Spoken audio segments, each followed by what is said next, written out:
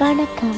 இது வஞ்சமலர் தமிழ் கிரியேஷன் நீங்கள் சேனலுக்கு புதுசுன்னா சப்ஸ்கிரைப் பண்ணுங்கள் கூடவே பெல் பட்டனும் கிளிக் பண்ணுங்கள் உங்களுக்கு இந்த வீடியோ பிடிச்சிருந்துச்சுன்னா லைக்கும் ஷேர் பண்ணுங்கள் வஞ்சிமலர் தமிழ் கிரியேஷனின் இனிய வணக்கங்கள்.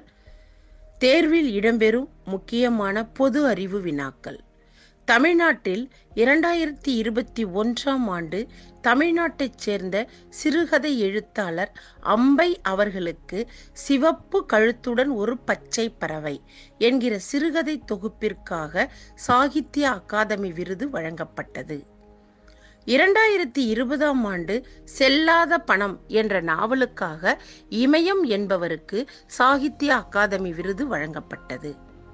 இரண்டாயிரத்தி பத்தொன்பதாம் ஆண்டு சூல் என்ற புதினத்திற்காக சோ தர்மன் என்பவருக்கு சாகித்ய அகாதமி விருது வழங்கப்பட்டது.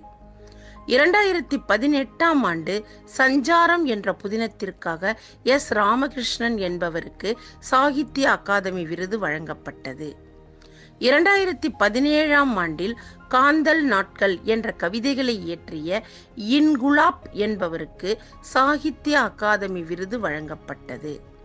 இரண்டாயிரத்தி பதினாறாம் ஆண்டில் ஒரு சிறு இசை சிறுகதைகளுக்கு வண்ணதாசன் என்பவருக்கு சாகித்ய அகாதமி விருது வழங்கி சிறப்பிக்கப்பட்டது.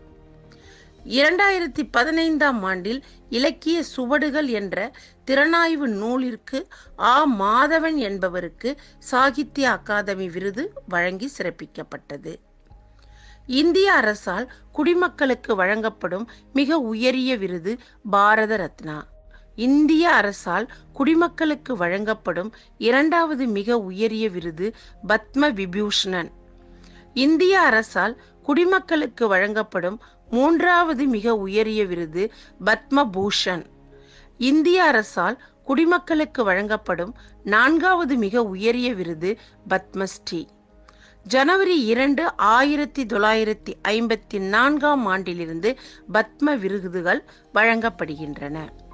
ஜனவரி இரண்டு ஆயிரத்தி தொள்ளாயிரத்தி ஐம்பத்தி நான்காம் ஆண்டிலிருந்து பத்ம விருதுகள் வழங்கப்படுகின்றன. இந்தியாவில் பத்ம விருதுகள் வழங்குபவர் குடியரசுத் தலைவர். இரண்டாயிரத்தி இருபத்தி ஒன்றாம் ஆண்டு டோக்கியோவில் நடந்த ஒலிம்பிக் போட்டியில் தங்கம் வென்றவர் நீரஜ் சோப்ராவுக்கு பத்மஸ்ரீ விருது அளித்து பெருமைப்படுத்தியது. முதல் முதலில் பாரத் ரத்னா விருது பெற்றவர்கள் C. Rajagopal Achari Sarvepalli Radhakrishnan sir. C. V. Raman. ஆயிரத்தி தொள்ளாயிரத்தி எழுபத்தி ரெண்டாம் ஆண்டு பாரத ரத்னா விருது பெற்ற இந்திய பெண்மணி இந்திரா காந்தி.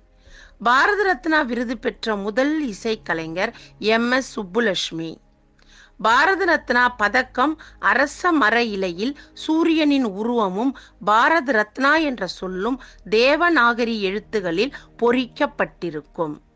உமியிலிருந்து தயாரிக்கப்படும் பொருள் கம்ப்யூட்டர் தயாரிப்பில் பயன்படும் சிலிக்கான்.